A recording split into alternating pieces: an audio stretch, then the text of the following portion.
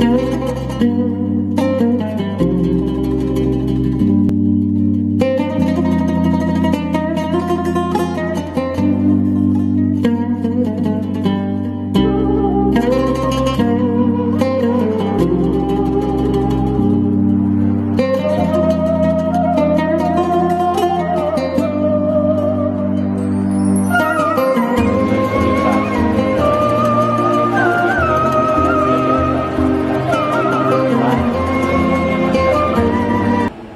dari Mangga Anisa binti Muhammad Nasir Kebulun dengan dinamai Nangga Banyak Muhtunan